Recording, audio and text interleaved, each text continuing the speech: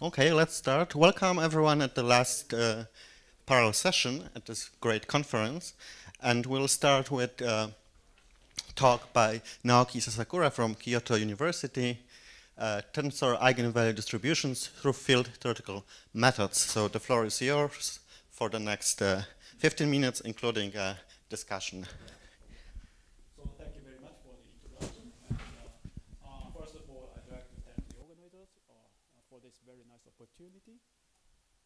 Today I'd like to talk about tensor eigenvalue distributions uh, by using field theoretical methods.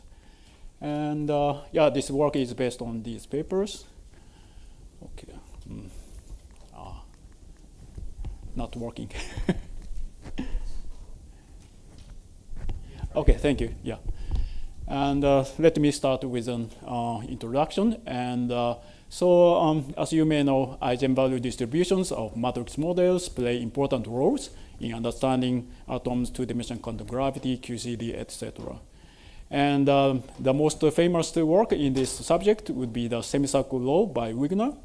And uh, so um, the natural question would be the, uh, what roles eigenvalue vector distributions can take in tensor models.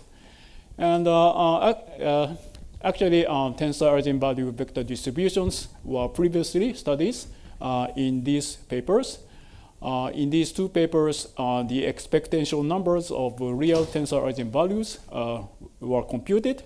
And in this paper, the estimation of the largest eigenvalue in the large limit was um, uh, given. And also in this paper, an extension of Wigner semicircle law was proposed.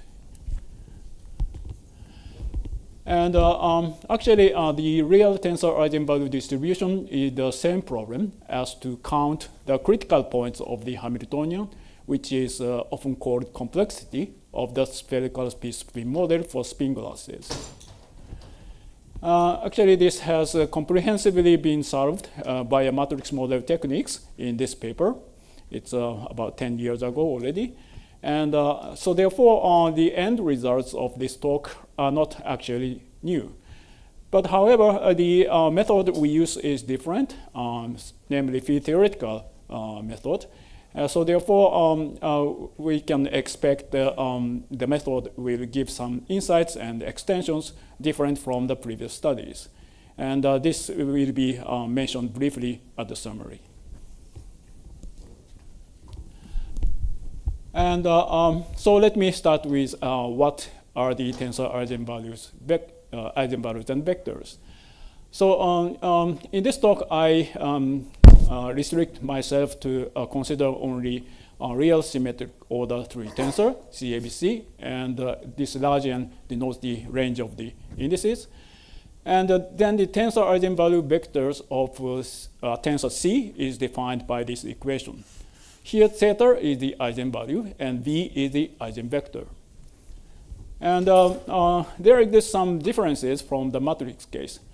Um, for example, um, the, uh, the eigenvalue um, problem is, uh, uh, in the matrix case, uh, this, this problem is a linear equation, but here in this tensor case, a system of n nonlinear equations.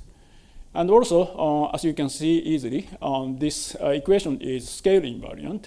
So therefore, uh, the, the definition here is not unique, and you have to uh, properly uh, gauge fix uh, this ambiguity. And also, um, in the matrix case, a symmetric real matrix has only real and real and real eigenvectors, but um, um, in this tensor case, um, uh, they are not necessarily real. Uh, therefore, um, because of these uh, differences and complications, uh, there are some different notions of eigenvalues and vectors. The uh, relevant uh, notion in this talk is what is called the eigenvalue. In this case, the eigenvector and the eigenvalues are all um, both real, and this ambiguity is fixed by, the, by normalizing the eigenvector.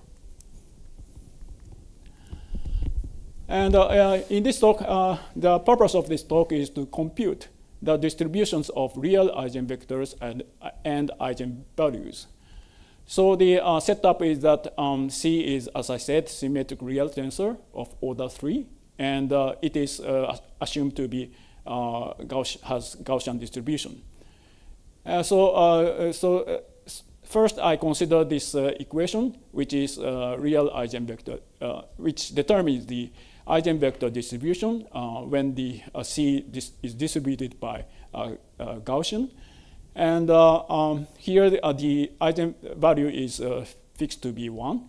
And then uh, one can transform this the information of the distribution to the information of the real eigenvalue distribution. Here the uh, uh, eigenvector is normalized, and then the eigenvalue is given by the inverse of the size of the vector v.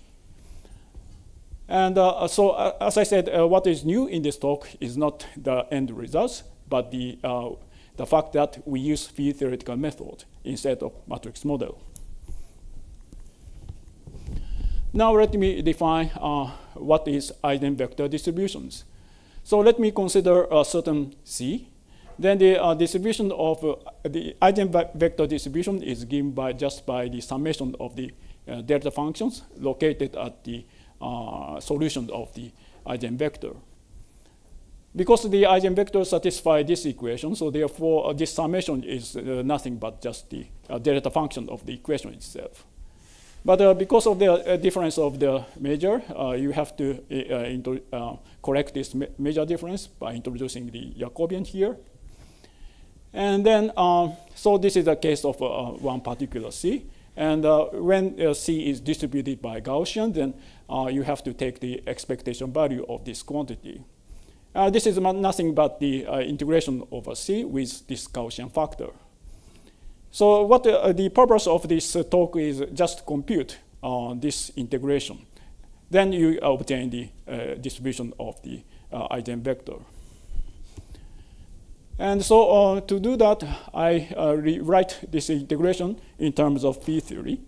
And the first, I mean, challenge is to rewrite this determinant factor. And then uh, rewrite this delta function part. So now uh, let me first uh, rewrite this determinant factor. The, the, challenge here is that uh, you have uh, absolute value. Uh, it's not analytical function, so therefore you have to do something for to overcome this I mean, non-analyticity. So the, of course, the, the most, the simplest um, uh, solution is just forget this uh, absolute value. But still the problem is interesting. And in this case, uh, this is just uh, this, um, uh, that now this is just the determinant. So therefore, uh, by introducing a couple of fermions, you can rewrite this determinant factor with this form. But of course, what we are, we are interested in the distribution itself. So therefore, we have to do a little bit more. Uh, in the, uh, so uh, one can try this expression here. here, in the, we, I have introduced two parameters, epsilon and r.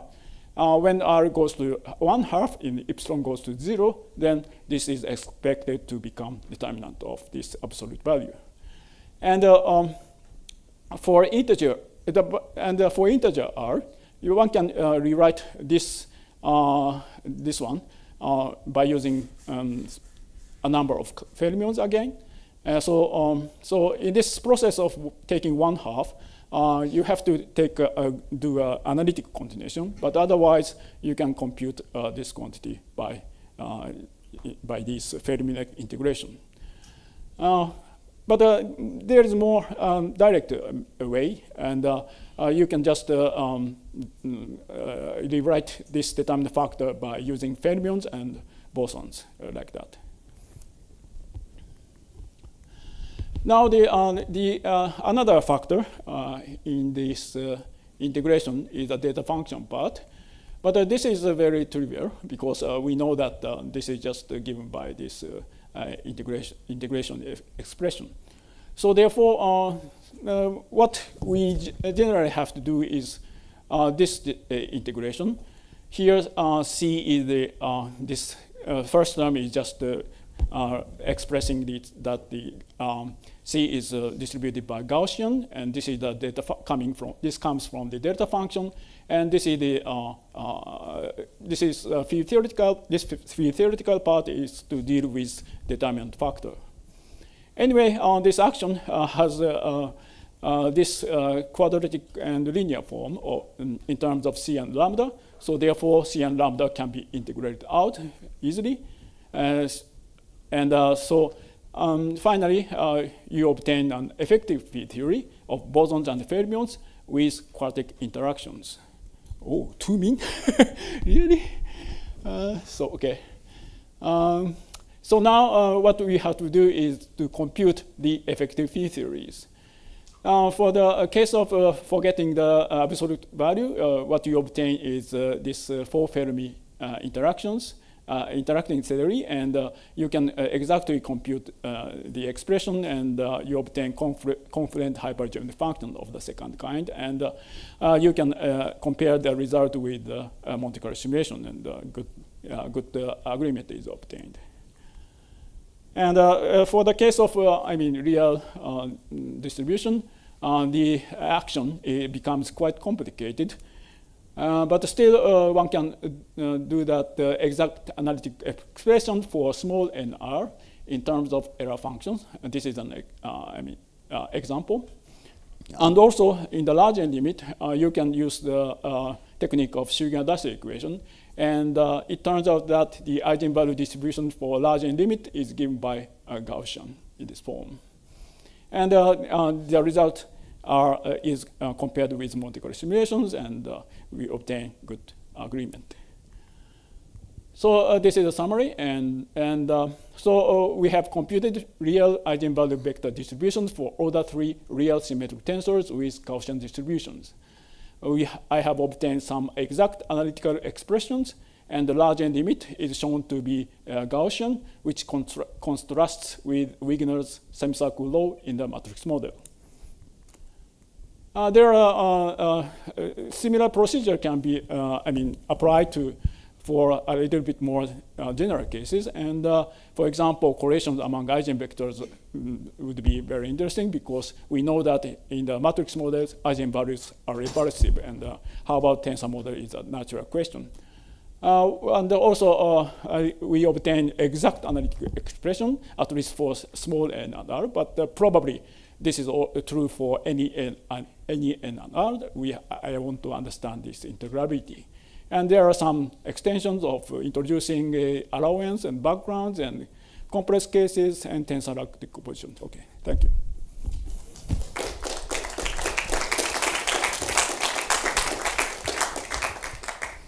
Great, thank you very much uh, for the uh, talk that you fit exactly into this 12 minutes.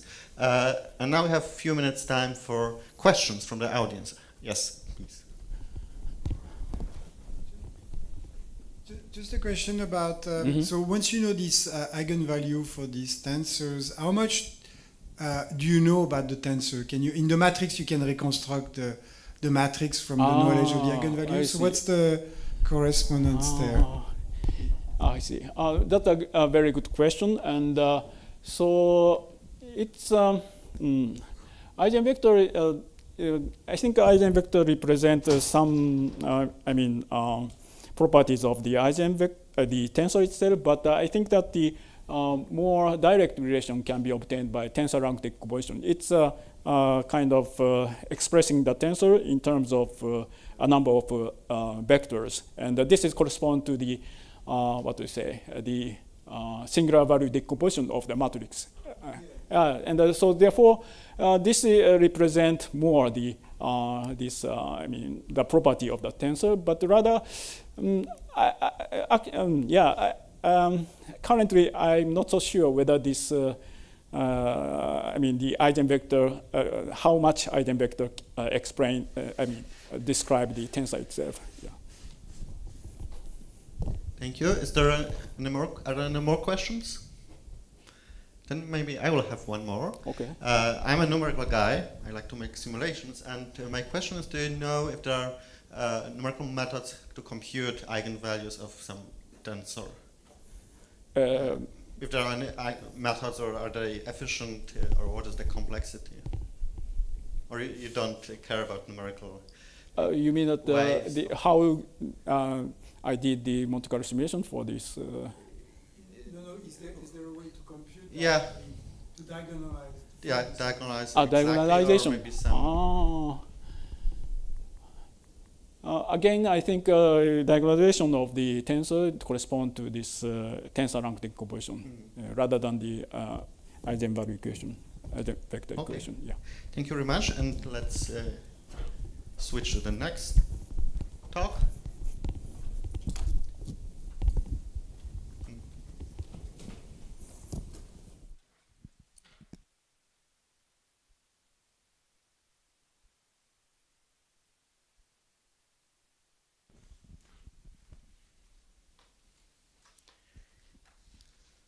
Okay.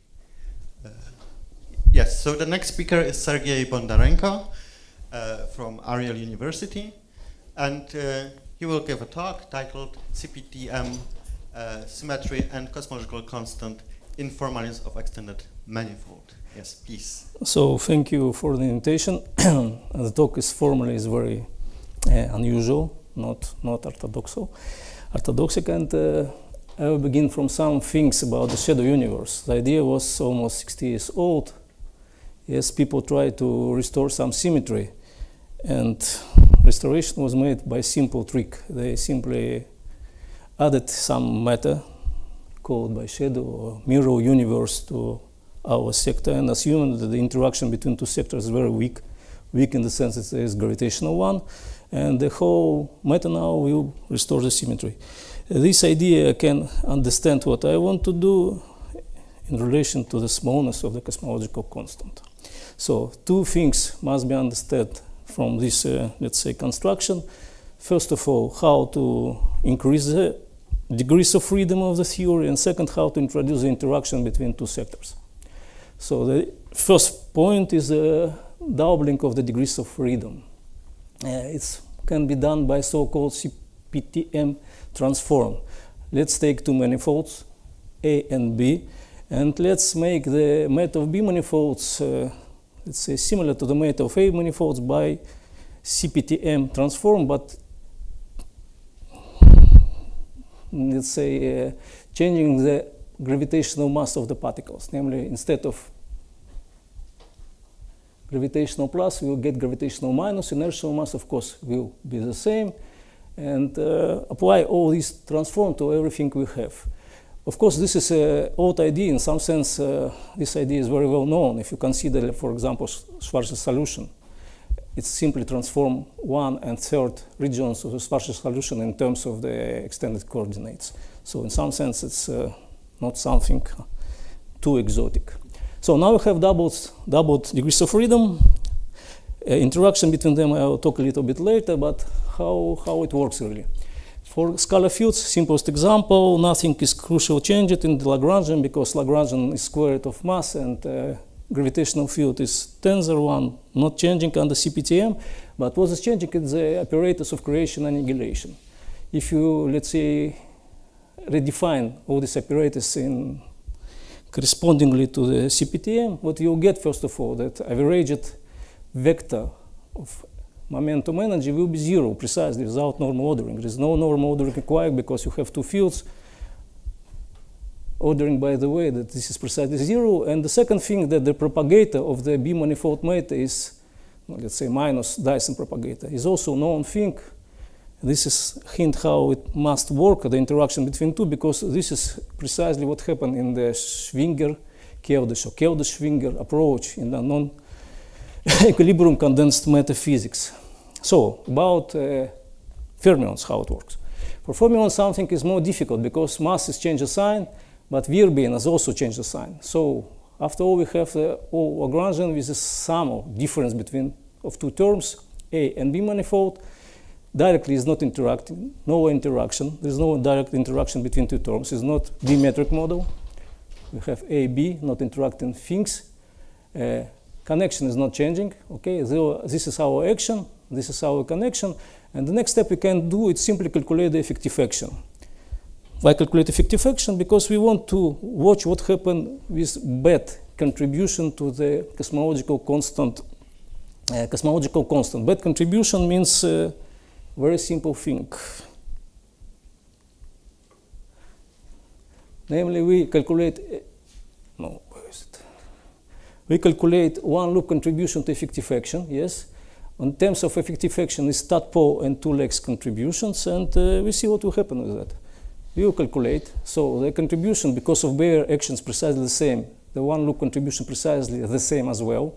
But when you regularize the actions, they will get different signs. Propagators are different, pole of propagators are different, and when making, let's say, rotation to Euclidean space for one loop diagrams, of course, what you get that one, one part of the action will get plus, another minus, because one part have Feynman propagator, another have Dyson propagator, and that have different signs in overall answer. So this contribution is precisely zero.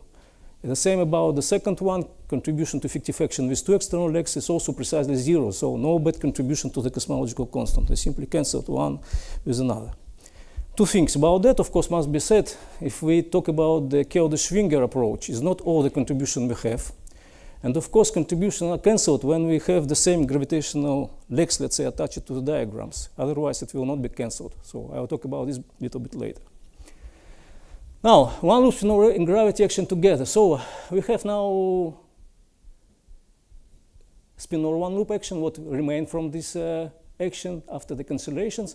And we add in the same manner that we add the gravitational action, two parts for A and B manifolds. Okay, standard definition, nothing special in this case. And a uh, few words also only about the interaction. We now have two manifolds. We double degrees of freedom and the question how we arrange the interaction between them. In fact, answer is known because in Schwinger-Keldysh approach, it's precisely the same. If you know, you don't, uh, but if you know for sure that the Schwinger-Keldysh approach, we have twice more green functions. We have so-called diagonal and non-diagonal green functions. So in this case, the all interaction between A and B manifolds is through non-diagonal green functions. It's very weak, it's very, almost zero, let's say it will be zero for many, many contributions, but there is no direct interaction only interaction through non-diagonal green function which arise automatically in this approach and in Dyson-Schwinger approach. So now we can, as example, make usual quantization. So it's usual field theory. You write very, very long effective action. It's long because we, first of all, twice write the action terms for each field, and after that we add non-diagonal terms. It's long. It's simple, but it's long, simply long. Uh, what is interesting about all this construction, if you calculate now this, this is non-diagonal green function, you see this is 4 not 2, this is uh, Feynman, this is Dyson, and this non-diagonal. What is interesting that inevitably you get immediately that usual graviton propagator is modified because you have non-diagonal contribution, you have new terms, and now it behaves differently from the usual one. In some sense, of course, it's mimic of the dark matter, so it's kind of bonus I don't know what precisely it will give, but it's different from the usual one. It's not the same as if you consider simply the, let's say, ordinary quantum field theory. Now, uh, different scenario, how I introduce the gravitational field. First of all, I remind we have Vierbein fields and gravitational fields. So I have to define how they connect Vierbein with gravitational field. The first possibility is the simplest one, usual Schwinger-Keldysh each Vierbein is each gravitational field, yes, I calculate here the cosmological constant, so it wasn't initially in the action, simply calculate like a linear term with respect to the perturbation, to the h. I get two answers. This answer is simply, as usual, is a trace of the momentum and energy tensor, T0 mu mu. So I have two different answers. Of course, on the level of action, there is not will be full cancellation. Okay, classical value. I remind that one loop values are zero precisely. On the classical level, it not will be cancellation. Why? Because Vierbein fields now are different. Free fields may be the same, but for the second order, free fields will be different. Therefore, therefore for usual prescription, Vierbein gravitational field, no cancellation will happen for classical values. No full cancellation will happen also for the one loop, no zero. But this is kind of strange prescription because uh, whole model is very similar to electrodynamics. You have plus minus charges, you have one photon field interact with this two charges, why we have to define two different gravitational fields. So let's do like that. Make the same vierbein, one vierbein, sum of two, HH, okay? And now matter field interact equally with each, each gravity field, H and AB. Somehow it's one defined photon. Again, this is long. It's long because simply I have uh, non-diagonal terms. Each term is twice, so it's simple but long. I can now calculate the cosmological constant. Now I see it's interesting thing. My cosmological constant is the same for both manifolds, and this is difference on T mu, T mu, T mu, T mu. So it's, remind again, this is classical value. For this case, because I defined vierbein the same, yes, for each manifolds, one loop contribution are precisely zero. In classical WOW is difference of two contributions. Again, we have here two cases. Trivial one, simply equal. It means that we have manifold A and manifold B with the same time axis, the same direction. So first order value is simply zero is equal. But we have two manifolds with different direction of time. We can simply exp expand each t in respect to some local time. T large is uh, time of life of universe, universe, and we get that our cosmological constant proportional to this value, 1 divided by 4t, Planck mass, and change, change of the energy momentum tensor with time.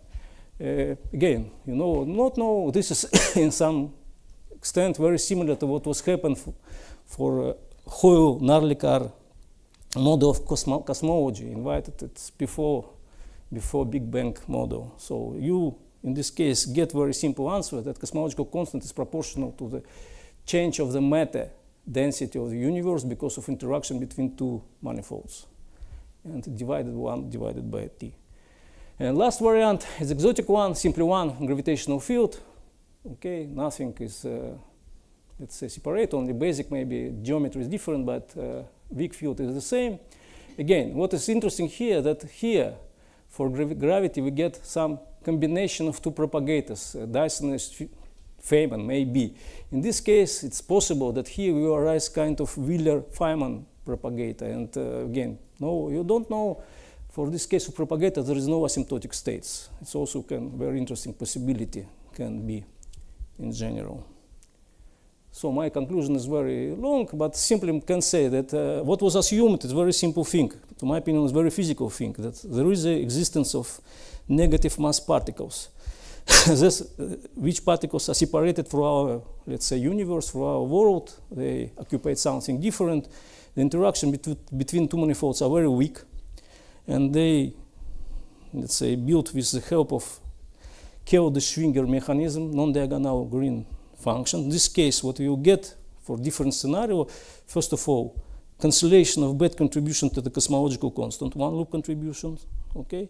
And on a classical level, cosmological constant is also can be small, very small. And as a bonus, you get that your propagator is also, let's say, transformed, is not really usual propagator, it's very similar to the Mond model. It's kind of mimic, again, dark matter behavior. I don't know is it, is it or it doesn't, but it's mimic that. And uh, again, last thing, maybe very interesting also, we have cancellation of, well, I guess, whole all one loop contribution to the effective action. In this sense, it's very interesting to understand how the renormalizability will work in this case. I done. Thank you.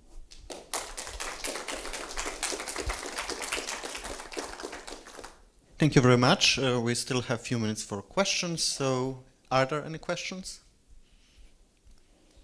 Then maybe I will ask a question. Could you maybe uh, repeat what is the motivation for these two manifolds A and B? Is there an interpret physical interpretation? Physically means that uh, it's very physical question why we have no particles with negative mass. Mm -hmm. In some sense, if you have charges and there is no physical law which forbid that you have gravity which, let's say, behaves precisely like us, it's the same world precisely. If you inside this manifold, you will not understand this is negative mass.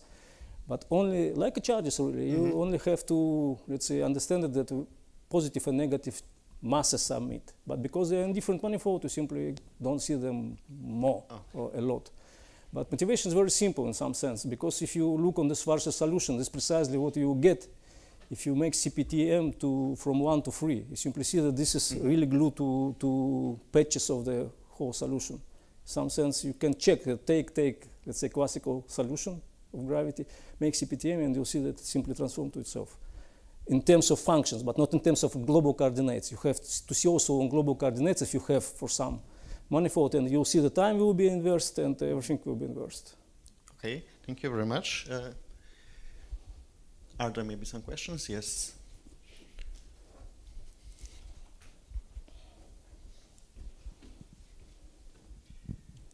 Just a naive question. So there's this model by um, Latham Boyle, Neil Turok, and collaborators for Yeah. the CPT symmetric universe, where they do something that looks a little bit similar, and they basically have a The CPT yeah, copy They have CPT. universe. Yeah, they have Yes. CPT and say about what's happened, what's happened uh, after the Big Bang, let's say. That's right. Yeah. But they also talk about dark matter, and they make a prediction for like right-handed neutrinos and things like this.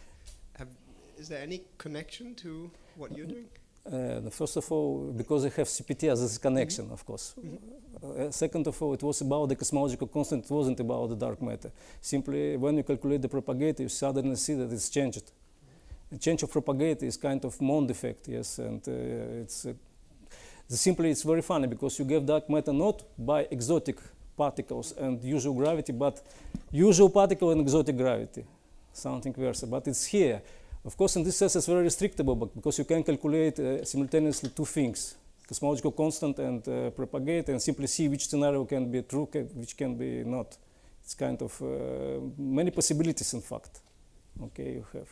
Thank but you. of course, it's similar, similar in any sense. Uh, thank you very much. It's time to move on to the next speaker.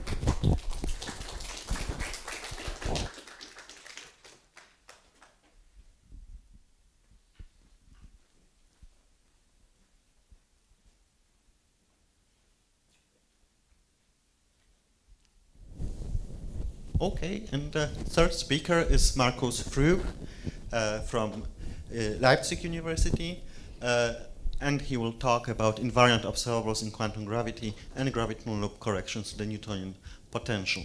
Please start. Thank you very much. You can hear me wonderful. Uh, I only have a short amount of time, so let's not waste time with any introductions. Um, I'm doing perturbative quantum gravity. Uh, I'm not an algebraic quantum field theorist yet, but Kasia is trying to convince me to become over fully to the mathematician side anyway. Come to the dark side. Yes. Do you have cookies?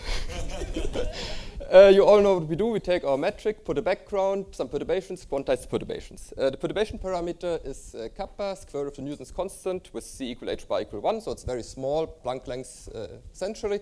So it's a very good perturbation theory.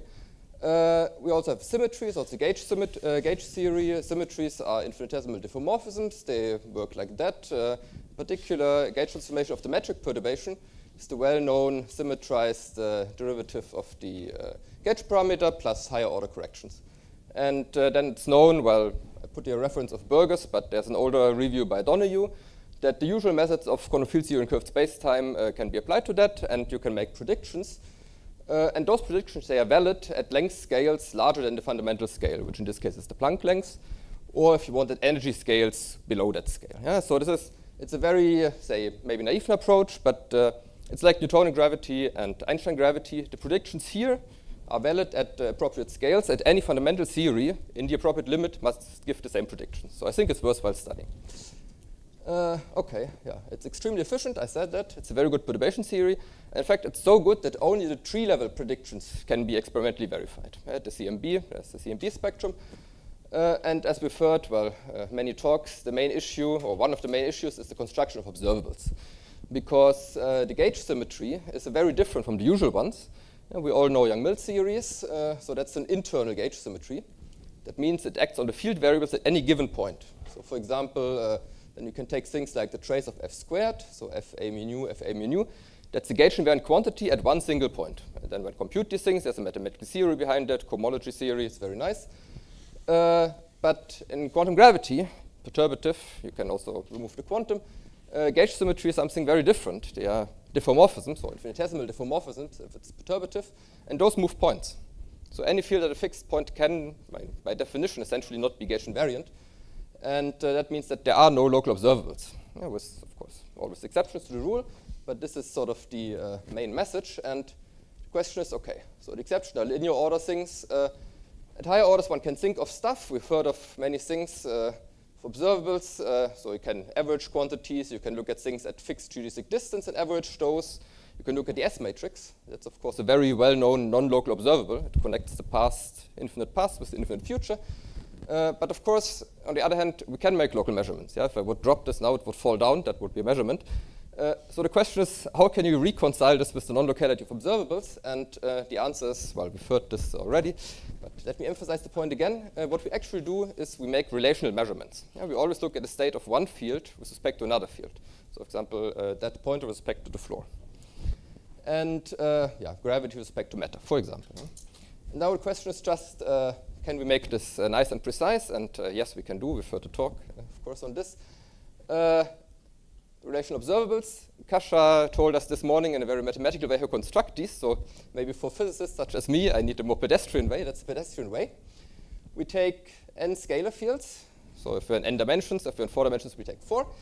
Uh, they can depend on the field content, so on the metric, matter fields, whatever you have, and they should transform as scalars under diffeomorphisms. Yeah, I'm perturbative, so I also take a background. I expand my function whatever I have in perturbation theory. I invert that, so then I get x0 as a function of x.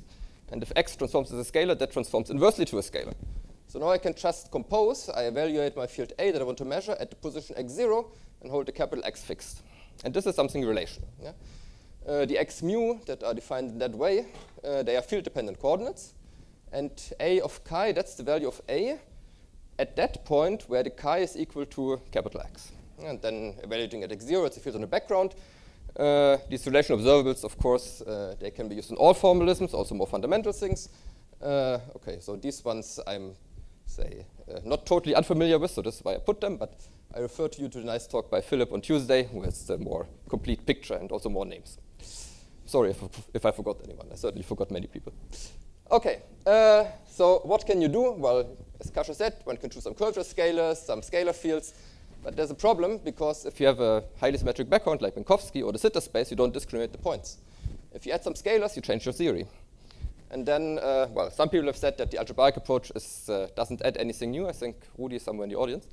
Uh, but that's not true. So if you look at that very nice paper, many people paper, they had an idea on how to actually do these things to all orders in perturbation theory. And I think, well, in my opinion, that was really a breakthrough.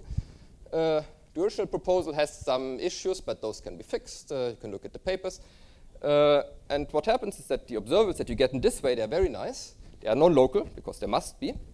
But the non-locality is restricted to the past light cone. Uh, so they involve in a nice uh, microcausal fashion, you could say.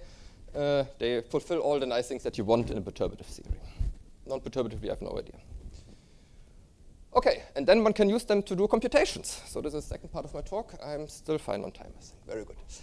Uh, so one can use the relational framework to define an invariant metric perturbation. So it's the first order is just the usual one, plus and then the symmetrized the derivative of the first order coordinate corrections.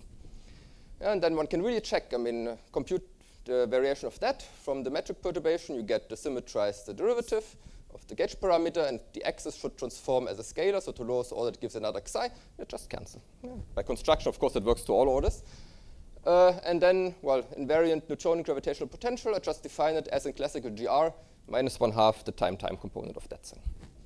Expectation value because I'm in quantum theory. And now I can compute things. I said we need gravity plus matter. So for the matter, we take a point particle, yeah, just something that is here. And we compute the H00 in the theory, which has uh, action of that plus gravity action. Okay, there's some Einbein, whatever. Uh, this has some additional symmetry, so one needs to be a bit careful with that. BRST formalism is helpful. Uh, and what we want is we want the corrections due to graviton loops. But of course, this is a quantum particle, yeah, it, it fluctuates. So what uh, we have to do is we take a large mass expansion. If something is heavy, it should not fluctuate. Yeah, that's the idea. Uh, not completely successful, but uh, well, one can try. So position of the particle, it's just, well, it sits at one point at the center, just evolves in time, and then there's some fluctuations, and okay, the Einbein also fluctuates whatever. Uh, one can use QFT. There are many, many diagrams. There are graviton and ghost loops. There are world line corrections. So those involve uh, these fluctuations y here. There are classical corrections, and there are corrections from the x mu. Now, the nice thing is we have something gauge invariant. Uh, so we can use any gauge. And the nice gauge is one that uh, kills you half of the diagrams, because then that's half of the work. We compute the classical correction that agrees with the expansion of the Schwarzschild metric in harmonic coordinates. So that's a very good check on the result. Yeah, that's what we should get. And then we get a quantum corrected potential. Uh, so what we have, classical potential. Yeah, uh, this is the classical correction at second order. And then there are two different quantum contributions. Uh, first one is this. So by dimensional reasons, they always must come with a factor of h bar g over r squared. There's no other possibility in flat space. So the only non-trivial thing is the coefficient. And this first one here, this 41 over 10 pi, that agrees with the results uh, derived using the inverse scattering method, where you look at scattering of two scalar particles in flat space, compute the S matrix element, and then check which potential gives you the same element, same S matrix element. So this is this universal factor. Uh, so just for reference, uh, this factor, well, various groups, various people took 10 years to get right. Uh, this was a master student, so just for comparison. And then we have a second term, and this second term is, uh, well, I tried, we wanted to suppress particle fluctuations, but we didn't manage. Yeah? So there's no way to suppress completely the fluctuations of that particle itself. And the second term comes exactly from the fluctuations of the world line of the heavy particle that we look at. So it's remnant of uh, Zitterbewegung in uh, Dirac's theory. Uh, and you can find, well, many more, and that's the reference. So that's the good master student. Uh, okay, uh, this is what it looks like, vastly exaggerated, of course. So uh, it dips down a bit more below. So you can say, okay, what does it mean? It means that the gravitational force is strengthened by quantum corrections at small distances. The potential is lower. Or if you see this as, a, say, corrections to a black hole, then you can say, well, the horizon is where the potential uh, passes zero, so the horizon radius decreases a bit. Uh, but okay, it is microscopic. No, no way to actually measure that in any sensible way. Um, and then I still have some time, wonderful. So I can also come to matter loop corrections. Uh, so this was all, sorry, this was all flat space. Yeah, so there's basically nothing that you can get except some coefficient Planck length squared over r squared. But if you go to a better background, like de Sitter, that's what I did as well, de Sitter space, you can get other corrections. And those corrections are actually exciting. Um, gravitons in de Sitter are very hard. Uh, Richard Woodard has already departed, so I can't give him the task of computing them. Uh, but uh, can do matter loop corrections. And the matter loop corrections, they are a bit easier. Uh, this is, yeah, it's actually, you did something previously. And we took conformal matter just for simplicity, because then computations are nice and easy. Uh, and you see it. So again, there's some term that goes like Planck length squared over r squared. Uh, so actually a physical distance, that's the one that you want. But then there's another term here, and what I want to draw attention to is this very last term, that's the log r.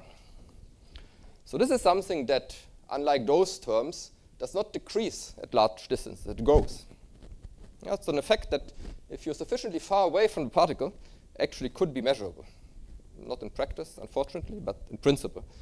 And uh, one can also generalize this to spinning particles. Then you get corrections for gravitomagnetic potential, the zero I part. And again, there's some logarithmically growing terms. So now, the good thing would be if one would have uh, know, an infinite number of master students, put each one of them at one loop order higher, and generalize this to all loop orders, and then think about, so what are the leading corrections? Uh, could it be that one could resum them to get some different fall-off behavior of R, like not 1 over R, but 1 over r to the 1 half. Yeah, and then maybe explain Mond from first principles yeah, if you're into that. Okay, so that's it, I think. I'm fine on time, wonderful. Uh, we have the issue of gauge invariant observables. So I think that's a central theme to all approaches in quantum gravity. So and it can connect a perturbative thing with fundamental approaches, whatever you like. Observables, they are non-local, I mean necessarily, uh, but one can compute relational observables, and in fact to all orders. And the results, uh, one can use them to compute things. So we get very nice results. We get the strengthening of the gravitational force. Yeah, that was the picture I showed. Uh, we get logarithmically growing corrections to the Newtonian and gravitomagnetic potential in de Sitter space, something that maybe could have observable consequences. Uh, there's other work, so I can look, for example, at corrections to the Hubble rate that measures the expansion of the universe. You get some secular screening, so it goes down. And whatever else you like, the theory is there, so you can now start computing. I invite you to do that. Thank you very much.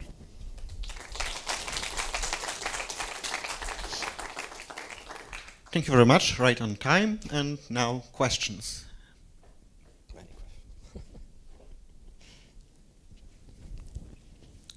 yes, please. Um, do you know under what circumstances your relational coordinates are globally defined and actually give you a good coordinate system? I mean, for example, do, do, don't you ever get caustics or uh, are, Right. can you continue the evolution indefinitely into the future? Issues like that. Uh, that's a good question. So um, the issues don't arise here because I'm really strictly perturbative. So I'm always assuming that any corrections are vastly smaller than whatever background structure I have. Um, of course, it depends on what exactly are the coordinates that you choose. So I think there are some uh, which are better suited to avoid such problems of caustics and so on. But this is really strictly perturbative. Just a, a clarification uh, Mm-hmm. question. You mentioned this 43 over 10 that reproduces the, the usual results, or 41. Mhm. But then you said there's another contribution Mhm. that. So this one is. Can you explain? It, it, it was not expected, or it comes from the uh, the coordinate fluctuating. I missed exactly what Yes, yes. was. The Uh, so this one comes. So this one is the gravitational vacuum polarization. So this comes from loops of gravitons and ghosts and whatever. And these ones are fluctuations of that body that I'm looking at. So it's a different situation. So the previous calculations, uh, Donoghue, Kirillin, what they do is they scatter scalar fields. So it's a completely different thing. Uh, and in fact, uh, I would not have been surprised if the result would have been completely different. Because it's a different physical situation. So I'm really at one body and then polarization, and they looked at scattering things. But it turns out that actually the result is universal. Yeah, one, one of them. Okay, let's move to the last question. Uh, yeah, so I just wanted to point out that the gravitationally based relational observables you've been discussing are equivalent to the uh, gravitational dressing construction, first of all. And secondly, uh, though, when you solve the conditions to get the, uh, say, dressed observables, in the harmonic case, uh, basically, uh, I think you're dropping a boundary term, and because of that, they don't satisfy the diff invariance conditions under harmonic diffeomorphisms. When you add that boundary term back in, then they aren't as local as I think you've said. Right. So, uh, I mean, we had to talk by Philip Höhn on Tuesday, who was connecting all these different approaches, and I mean, he was also pointing out that uh, this is well, okay, uh, that one can reformulate this in a in a language of dressed observables. That's one thing. Uh, the other thing, I would not agree. So these things transform as they do under localized diffeomorphisms. I'm not saying anything about the structure at infinity. Uh, there are no localized harmonic diffeomorphisms, so then the question doesn't arise. Yeah. Okay, let's postpone further discussions to the coffee break, and uh, I would like to invite the next speaker. Thank you very much.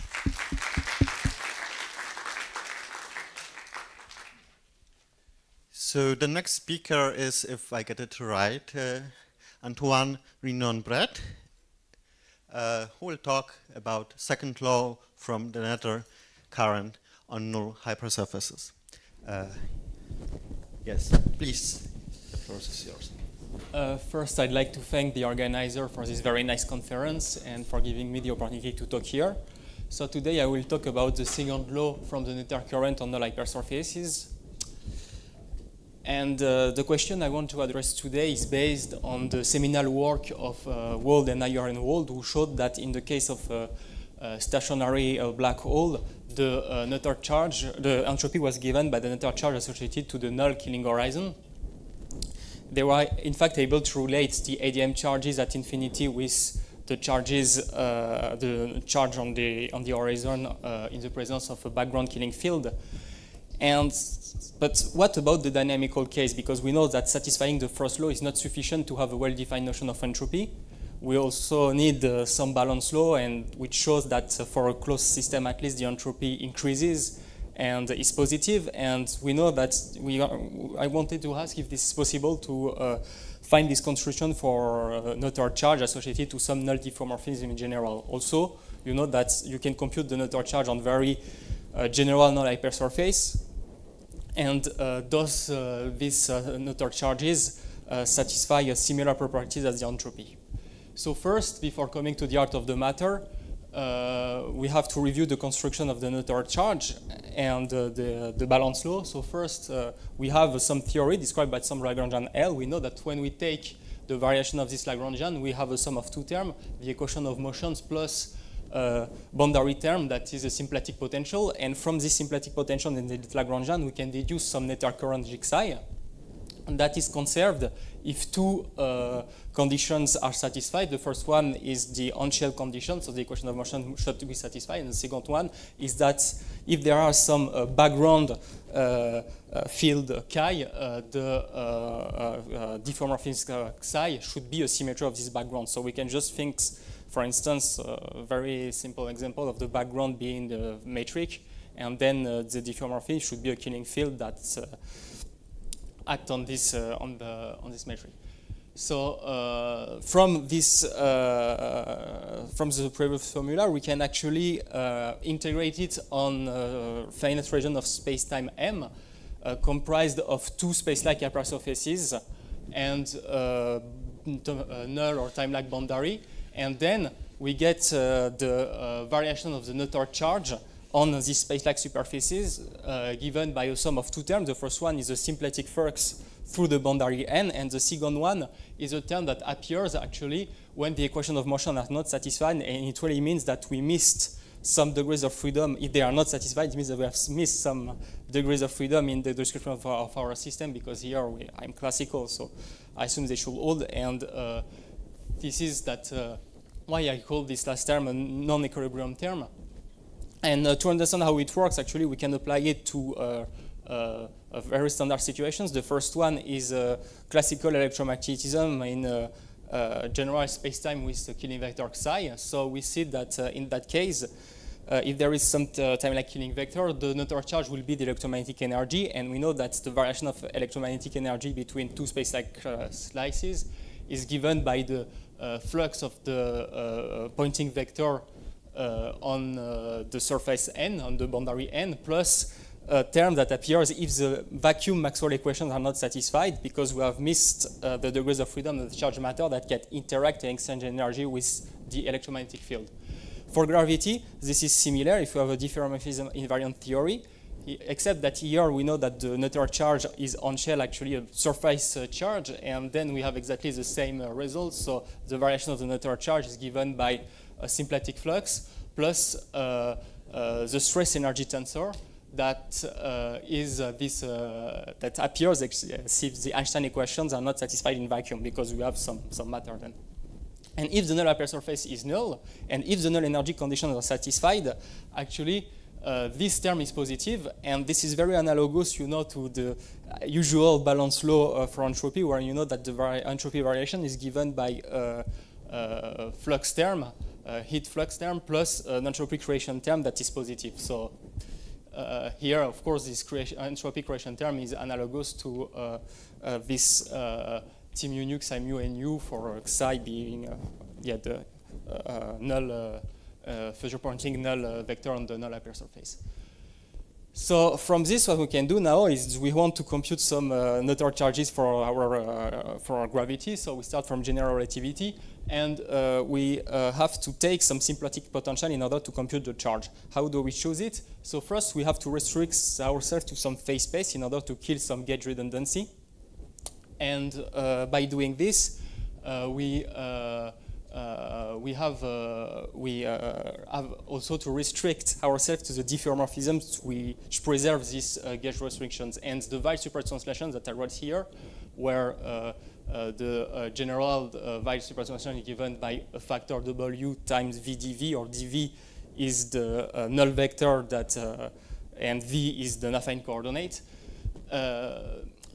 is one of these symmetry diffeomorphisms that preserves these uh, uh, phase space restrictions.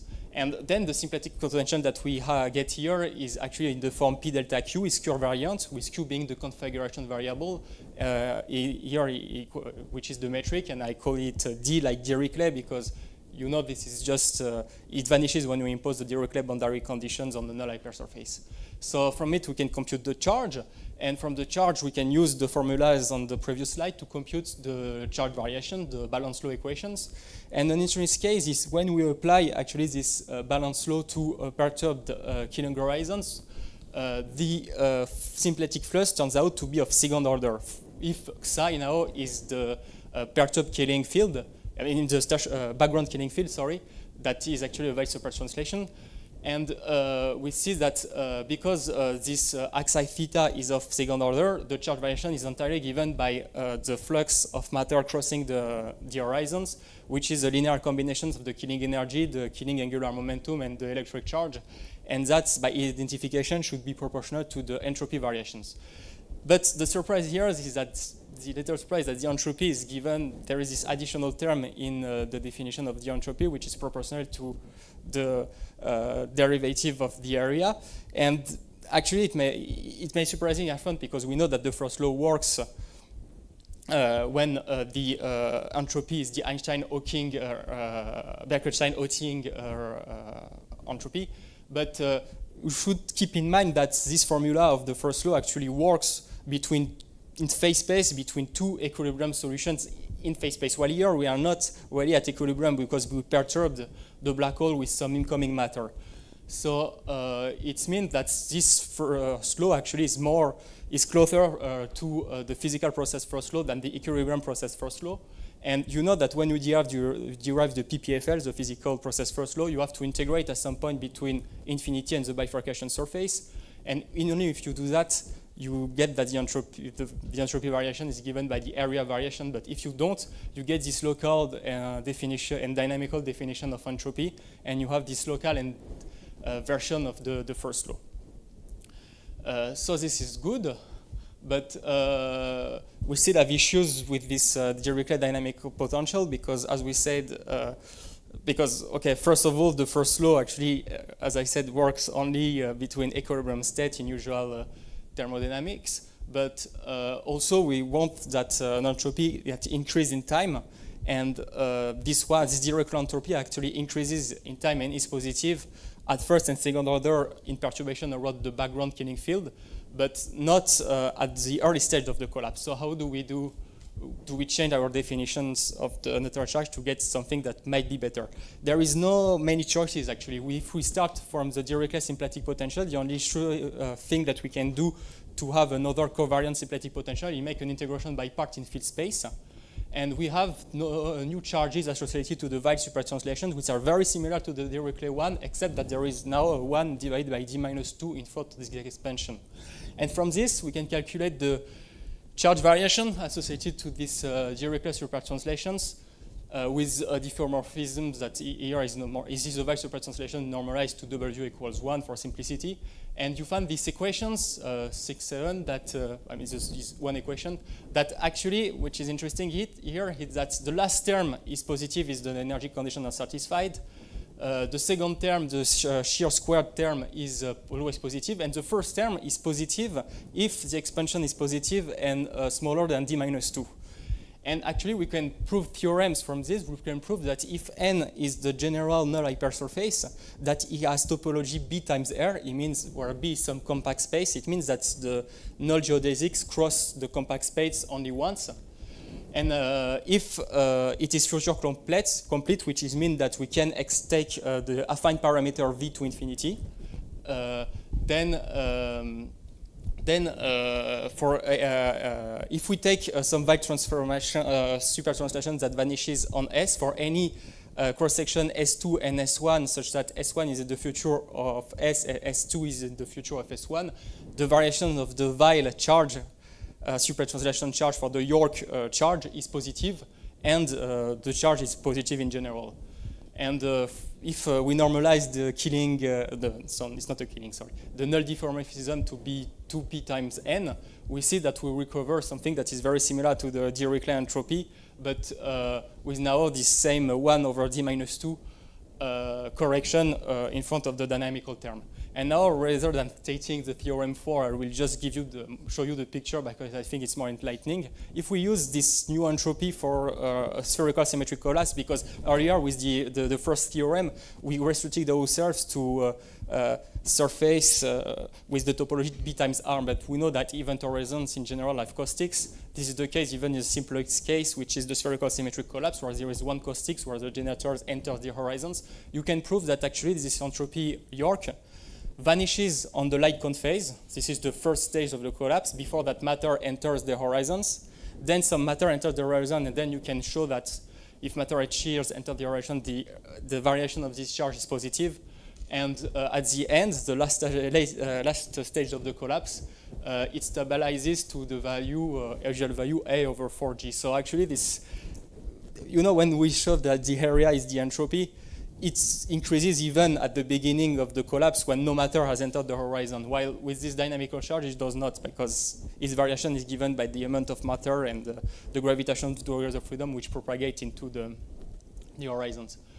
And uh, actually there is a nice analogy with the phase transition where uh, the order parameter is actually here the expansions because the expansions at the beginning is d minus 2 while it vanishes uh, on the stationary uh, event horizon and uh, this corresponds to an enlargement of the symmetry groups where we recover the super translations that were symmetries of the stationary black hole uh, as uh, Hawking, Perry, and Strominger was stating. And uh, so uh, I think I'm over time, so I just leave you with the summary and thank you very much for your attention. Thank you very much for giving the last talk in this session and now we have some time for questions. Yeah.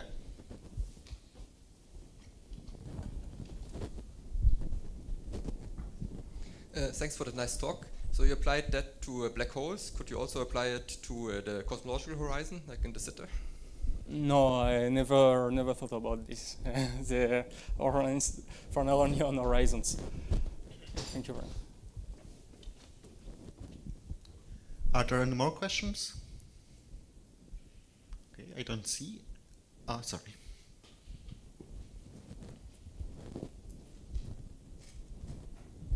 Could you, could you comment more on, on um, the York boundary condition versus the Dirichlet? Like, you know, um, yeah. one, one is like you fix the temperature and so on.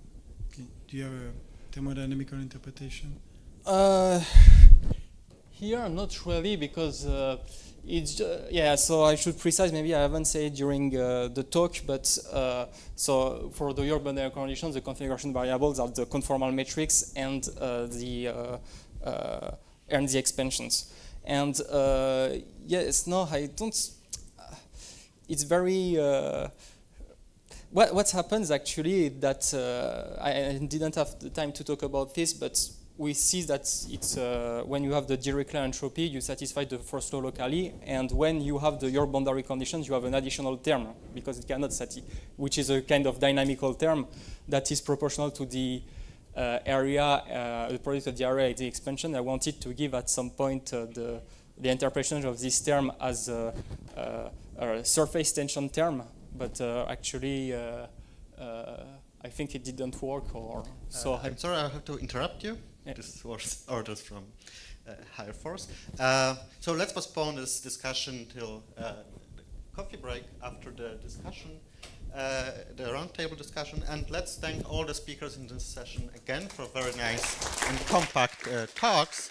And I would like to invite you for the roundtable discussion, which will be the last event on this conference. Yes, Thank you. Please, uh, Go to CC2 now.